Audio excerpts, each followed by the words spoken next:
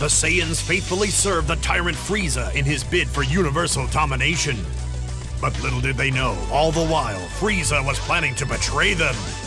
Now, having witnessed the murder of his comrades and the destruction of his home planet Vegeta, in order to honor his fallen friends, in order to turn the tide of fate, Bardock has gone to confront Frieza alone. Throughout the universe, the Saiyans were known as the ultimate warrior race, and from this proud race, one warrior rose up to challenge the might of Frieza, Bardock. Tora and the others really went on a rampage this time, huh? For many years, the Saiyans had faithfully carried out the tyrant Frieza's orders. Until one day, on a routine mission for Frieza, Bardock arrived to find his Saiyan comrades slaughtered. What is this? Tora, what happened? Tora, a fellow Saiyan warrior, told Bardock of Frieza's betrayal. Those dogs! And now, it's your turn. I think the fight taking place right now is supposed to happen in a place called Planet Meat, but they had limited resources to work with, so you know.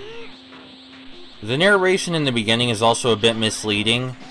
It says that Frieza planned to betray the Saiyans all along, but that wasn't the case at all. The Saiyans were pretty useful in getting planets conquered for Frieza, and they were some of the strongest warriors in his army, but that was also the issue. Frieza eventually found out that Saiyans grow stronger after every fight, because Bardock, who was originally a low-class warrior, had grown so strong that he could take over entire planets very quickly. And they debated whether they could still control the Saiyans if they grew stronger like that, and they ultimately decided no, they couldn't, so they're gonna blow up all the Saiyans. Bardock only found out about Frieza's betrayal after he fought Frieza's goons on Planet Meat, which is the fight that's supposed to be happening right here. But it's not, because, you know, they had a budget to work with. Before this fight, Bardock and his squadron had previously conquered another planet.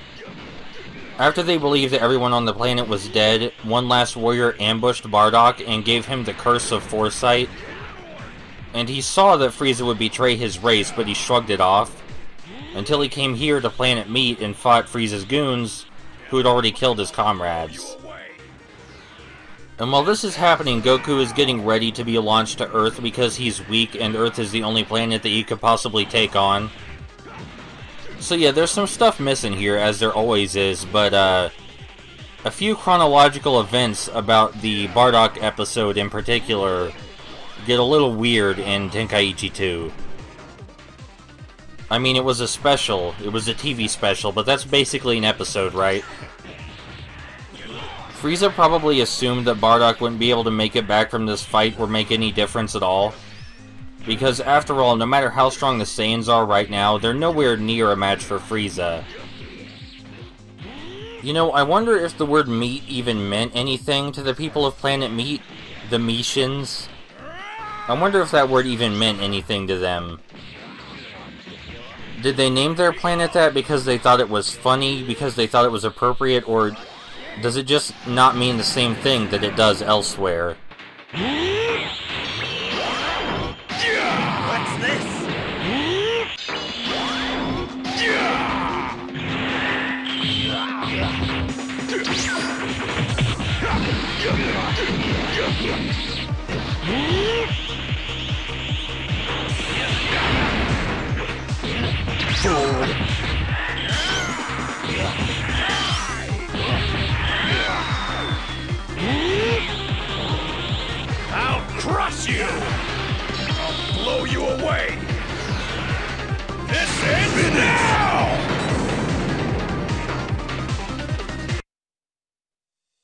There was no doubt the soldiers who attacked Bardock were Frieza's henchmen. Why? After witnessing the murder of his comrades and suffering attack from Frieza's men, Bardock's worst suspicions were confirmed.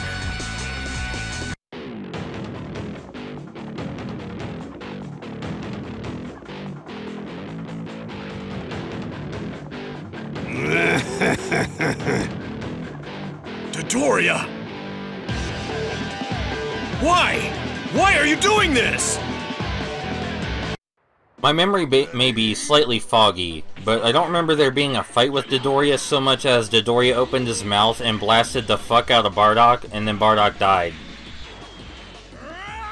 Well, he didn't die, but he was presumed to have died. He looked pretty dead at the time, is what I'm saying. So yes, the fight with Dodoria didn't go like this at all, but that's par for the course for Tenkaichi 2, really. Very rarely do the fights match up with what actually happened in the show or manga. Now, in the original Tenkaichi, you had to finish characters with certain moves or fulfill certain objectives or else you wouldn't win the match. And I think a lot of people complained about that, but I think it's a lot better than what we have here. Now granted, the story mode in that game is a lot less extensive and interesting. And the mechanics are a lot less polished as well but you have to give credit where it's due, and it did do the fights a lot better, as far as fidelity is concerned. Tenkaichi 3 story mode has a lot of similarities to the first, but uh, 3 story mode is way, way shorter, and they cram a lot of big moments into single fights. So I thought this was the best one to show off because it includes all of the movies, all of the sagas, and pretty much every fight in the entire series. It's just that the fights aren't always faithful. But you can't have everything.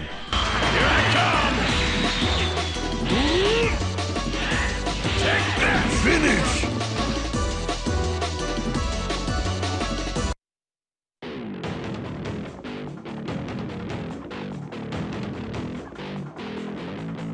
What a disappointment! I was hoping to have a little more fun!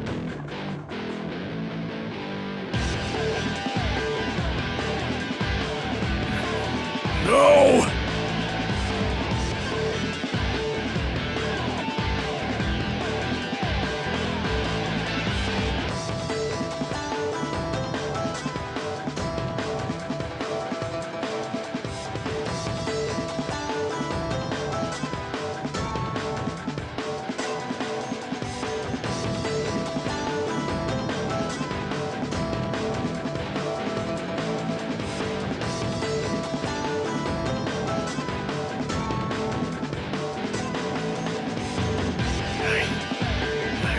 Change my future.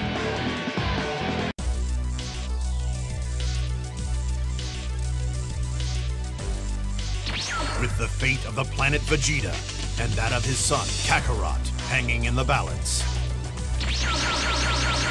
Bardock shouldered the weight of destiny and went to face Frieza alone. Frieza! So now we have to fight Dodoria and Zarbon.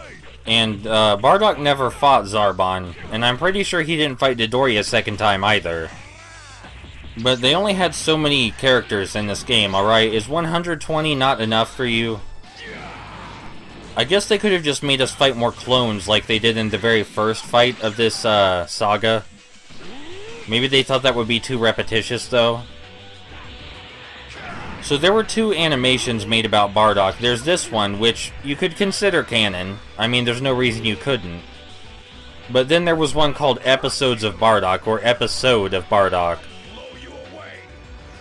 And Episode of Bardock was a what-if story where Bardock survives against Frieza, and he goes back in time or something and fights one of Frieza's ancestors and turns into a Super Saiyan.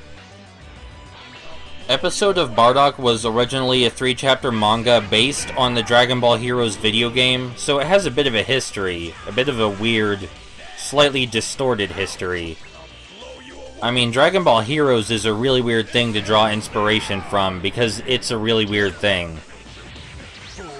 Unlike almost every other piece of Dragon Ball Z media, Episode of Bardock was not dubbed into English by Funimation, it was subbed into English and released as part of Dragon Ball Z Connect on a bonus disc.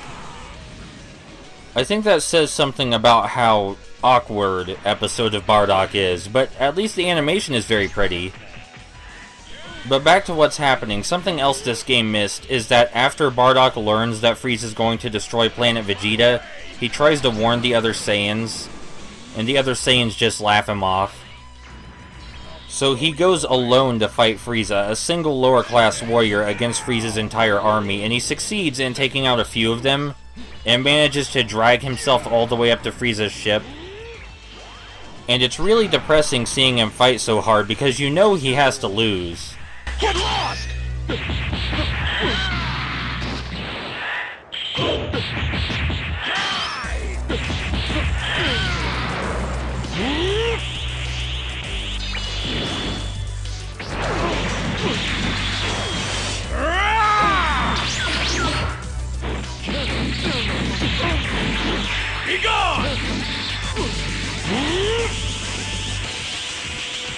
Don't get carried away! I'll crush you! Get lost!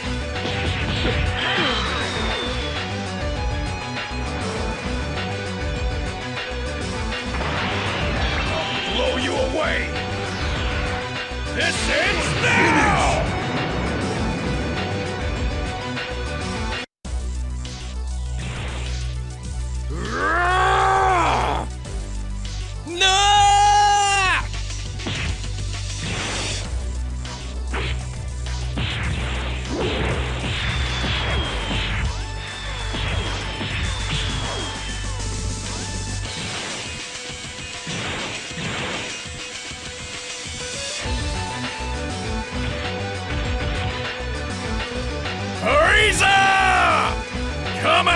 Face me, coward!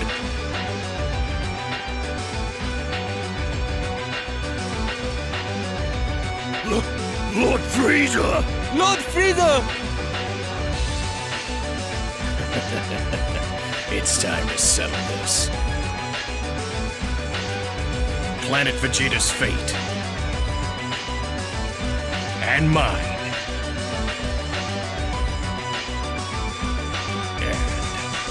Yours too!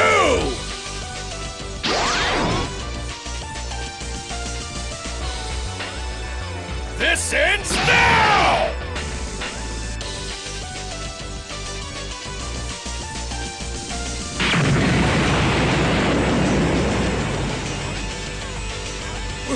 What?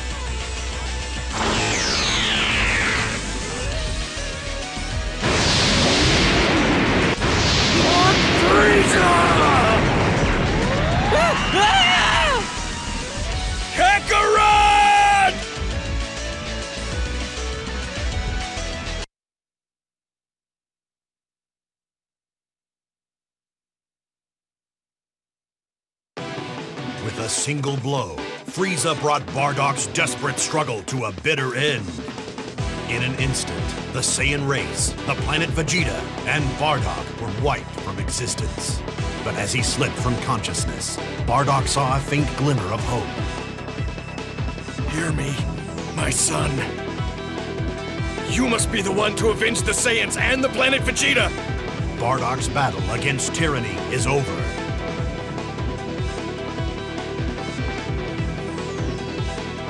However, his untimely end marked the beginning of the legend that is Goku